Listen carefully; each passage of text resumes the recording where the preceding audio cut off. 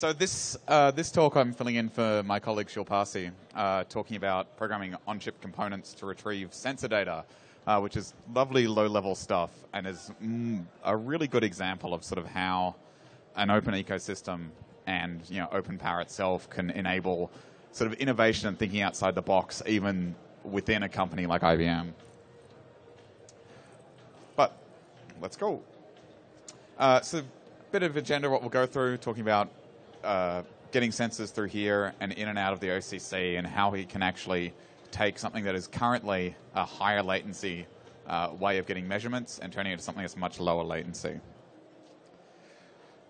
On a basic level, sort of OpenPower provides us a platform uh, to program on-chip components, right? I mean, a Power 8 chip has many, many, many different parts of it that can execute instructions. Uh, so there's everything from uh, the on-chip controller, which is an embedded PowerPC 405 chip, uh, which does the uh, hard thermal limits and hard power usage limits. Uh, there's general purpose engines that the OCC use uh, to do some real-time stuff. There's the Sleep Winkle engine, which is used to turn on and off cores. So when you have uh, low power modes uh, that Linux will say, hey, I'm not using that core. It can power it down and then power it back up. Uh, there's a self boot engine, which is a tiny little microcontroller that starts the chip up. Uh, and of course, you have the power processors themselves, which is what everyone recognizes as your CPU. So within your CPU, you have a bunch of other things that look remarkably like CPUs, but aren't in fact your CPU.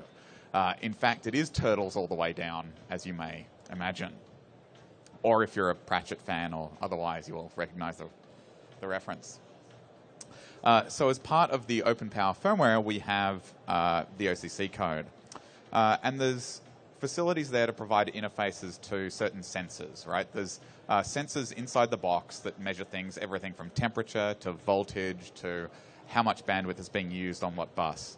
Uh, the existing uh, mechanism for reading sensors, you can do so via IPMI. So IPMI is a standard protocol for talking to BMCs, the baseband management controller, uh, on servers. And this has been a spec that's been around for, you know, nearly long enough to drink in bars uh, but is, is quite warty, but it exists and it's a standard that's cross-platform. Uh, so there's IPMI tool you can run from another machine and interrogate uh, the power system or any other system. And you can use this wonderful interface, and wonderful I mean absolutely awful and not user-friendly at all, called IPMI tool raw, where you jump in a bunch of uh, magic hex values that looks oddly like having to make a sacrifice to get data out, but you, you get something back from it. And what that's doing is, is asking the BMC to get a sensor value out. And the way it works is this. So outbound IPMI is you have an external node, so like you know your laptop or your management computer uh, talking over a network to the BMC inside the computer, and then there's a direct interaction with the OCC. So the OCC will get data from a bunch of sensors and then tell the BMC about it, and then you can ask the BMC for those sensors. And this is sort of out of band getting sensor data. So you could ask, you know, what's the temperature of the processor? and it would tell you. Uh, there's also the ability to read these some of these sensors in band. There is in band IPMI, so that's directly talking from the host uh, to it itself. So here you have running uh, on the on an OS that's running on the Power 8 chip. So you could be on Ubuntu on the ship on the machine rather than using a remote machine and say, hey, what is the current temperature on this machine? So that's sort of an in-band rather than out-of-band. So we say in-band, it's running on the machine you're looking at. Out-of-band is getting at a different machine. Uh, so this way you would do it, you know, SSH to the box and find the information there. And in this case, the current sort of in-band method for getting these, these sensors would be that you'd run IPMI tool, which would talk to the host Linux kernel, which would then call a firmware routine, which then asks the BMC for the sensor data. So as you can imagine, with this sort of round trip, there are several round trips and several layers you're going through, and in fact, you're asking for a property of you know, the P8 chip, and you're going out to a separate processor inside the box to find out what's going on. So you can imagine there's a large amount of latency there. Uh, so while this gives you the joy of being able to get the same sensor data as you can get out of band, it does have a higher latency cost. Uh, and the way this works uh, is that uh, the OCC will use SCOMs. So SCOMs are simply just a way of talking to different components inside the P8 chip that's largely an, an implementation detail. Uh, inside in, inside the, the P8, of course, you have to have ways to communicate with different components inside the chip. This is ours. Uh, does anyone want a large, long, detailed version of, of what SCOMs do and what everything is there? Because if so, there's a bar, and we should talk there. it doesn't fit, fit, into 15 minutes at all. Uh, and the main thing here is you have like the digital sensors or analog sensors inside the system, and through SCOMs you can have code that reads that. So the uh, OCC can use this method to then get the data, and then they can export it through some method. And we want to export this in a method that's lower latency than just going all the way through the BMC. So instead of just sending it to the BMC, we could do something else. For reading sensors in band, uh, we want to provide an interface to read the values of this through something that's standard, right? So for out-of-band monitoring, IPMI is the current industry standard. For in-band, like if you're on a Linux system and you're wanting to know what's going on on it, there are existing Linux kernel interfaces for how to do that. Uh, you can get some sensor data through perf, so perf is very much performance counter oriented, as in you want to know, you know how many instructions per cycle are being executed on a core, let's say, or how many L2 cache misses have been occurring. Perf has a standard interface for this. So you type down at your system perf, and then magic happens and you get sensors, right?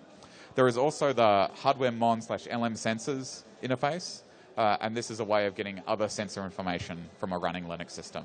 And you can run this like on your x86 laptop, and this is just the exact same kernel interface. So you can run perf on your laptop, and I run perf on my laptop, and I run perf on my power systems, and it uses the same kernel interfaces. So it's just standard, and we don't have anything you know, power specific on the user space side or from a user point of view. It just works. Uh, and what we want to do is have these other sensors that we have in the system available through these same interfaces. So, why would we want to do this? Uh, the big key is that uh, we want to profile workloads that are running on a system. For many reasons, you might want to profile a workload. You might want to profile it for performance, as in, are you using the hardware to its full capability?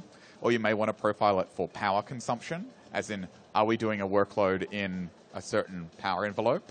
Uh, and you may want to use this to feedback in to make your code better, or to then iterate on hardware designs and go, well, this workload isn't using the chip to its full potential. How can we change the chip so it does? Uh, so you can have that from a perspective of an application developer. Why do you need to profile it? Or from you know chip designers and go back to them and go, well, if you change the chip this way, we'll use more of it. Uh, and the other issue, of course, is that uh, there's this small issue of when you observe a system, you may change what's going on. So you want to do this in the minimal impact way possible. And so we don't want to have uh, large amounts of changing to how the system operates just to measure what it's doing. So we do want to reduce the latency involved in reading the platform sensor data. And this also means we get much finer grained information, right? If it takes a second to read a value, then you only have per second granularity. And on a modern system, you know, on a P8 chip, 10 cores, 4 gigahertz, 8 threads per core, a lot happens in a second, right? Like billions of things happen in a second. So that's obviously the smaller uh, uh, latency we have, lower overhead, the more data points we can gather and make intelligent decisions.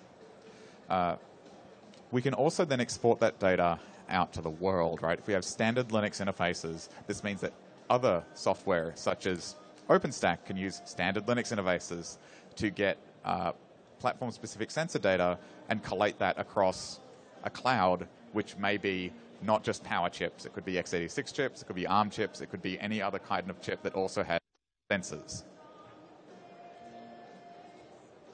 Yeah, there's a preference for power chips, but like may may not be let yet on on on all situations. We'll, we'll see how we go, but. Uh, having the standard interfaces means that someone developing this tooling for OpenStack doesn't have to care about any specific of a power CPU. They just get standard interfaces that are accurate and don't affect performance. The last thing you want to do is go, I'm going to monitor my cloud, and suddenly your performance drops by half. That's not what you want. So what is the actual latency we're talking about? Uh, so if we look at in-band OCC sensor, so if we run code directly on the OCC to pull data from the sensor, about 90 nanoseconds to read something. Uh, if we're doing a SCOM and go, we're going to read the sensor directly from the host, that's like 1100 nanoseconds, which you may notice due to basic maths is a much larger number. If we're going in-band IPMI, so that means on the command line we like we run an IPMI tool and it goes via the BMC to get the sensor. 80 milliseconds. You may notice a change in units there, which is again much longer. And if we're doing out of band IPMI, it's even longer again. So obviously, this would take a big effect of what kind of uh, uh, timing you can get for reading everything, as well as how much you're affecting the system, right? If it's going to take, if you're going to run something at 120 milliseconds and you're going to run that, you know, 10 times a second, obviously instructions and processor resources are being used there, so you're getting less accurate information and you're affecting the workload more. So the OCC we've been talking about, uh, and that uh, Todd and others have spoken about, is a tiny little PowerPC 405 embedded chip. Uh, so it's a CPU in its own right. It has 512K uh, of static RAM. Uh, and for those of us who grew up on systems that had much less than 512K RAM, you'll go, this is a luxury programming environment. And now it's considered an embedded chip. And it takes care of power management is its primary use. Uh, it has coprocessors that it offloads some work to. Uh, and what it does already is periodically read and store uh, many platform sensor data. And it does this to achieve its core goal, which is to do hard thermal limits and hard power consumption limits. So it reads, you know, what is the temperature of everything in the system? Do we have to throttle anything? So may, Linux may say, I want to run at this frequency, and the OCC may read all of the temperatures and go, we are too hot, so we're not going to run at that frequency. We'll run at a lower frequency that will mean we keep within those thermal limits. Because it turns out that you shouldn't get too hot. Machines don't like that. Uh, and you shouldn't chew too much power because it turns out that data centers don't like that. Uh, and this does this at, at, at, various iterations, and it has, you know, hard kind of real-time code running there to read everything as you go. Uh, and this is sort of how it looks like as a simplified diagram. Uh, the OCC itself has its own static RAM, but it can also talk to main memory as well. Uh, and it will indeed do this as an interface to the host firmware. So, what can we do? Well, instead of having these sensors be out of band, we can program the OCC to copy the other sensors we want uh, from uh, the OCC SRAM and into main memory at a regular interval. Because the OCC has access to main memory, we can do that. And we can, in fact, add to that list of sensors that goes through that. Uh, we can then queue work on a block copy update engine, uh, which is uh, a little thread that will copy data from SRAM to main memory. And main memory is something that, of course, the host Linux system can access. Uh, and of course, we can pre-allocate this because there's a whole bunch of other things that happen with the OCC. So it's using existing infrastructure. And so this in-band sensor data would then work if we program the OCC to extract those sensors and copy that to main memory. We have this lovely little uh, workflow where our Linux user space application uses the standard Linux interfaces to talk to a Linux kernel, and inside that we have a tiny little driver that simply reads from main memory. And periodically in the background, the OCC grabs those sensors and writes them into main memory. So when we're reading these sensors in band on Linux, it's just reading from memory addresses, which is really, really quick, uh, while we have the OCC doing the hard work of pulling them uh, from outside that, and we're not using resources there. So how do we consume it? Memory mapped, all in memory, reading memory. Sensors, that's how we do it. Perf, LM sensors, sysfs files. So how could we use this? What information could this be useful for? Well, one is uh, just say in an OpenStack cloud environment, you could then provision new virtual machines based on memory bandwidth usage on each node, right? So if you have a known memory, if you have a machine that's all its memory bandwidth is consumed, maybe you want to provision uh, a new VM on a machine that has less of its memory bandwidth being used. So it can be another metric to go, you know, I know what IOPS are being used on each node. I know what uh, you know, network usage is being used on each node. Now I can also know things like memory bandwidth and temperature and then more evenly balance things uh, across my, my cloud. Uh, that's also possible with uh, HPC uh, schedulers. So HPC schedulers have all sorts of input on like what area would I schedule a job. And so having more smarts in there to go, well, if I'm scheduling a, a, a memory intensive job, guess what? I probably want to run that on a node that is not currently out of memory bandwidth. There is the IBM tradition of having backup slides at the end.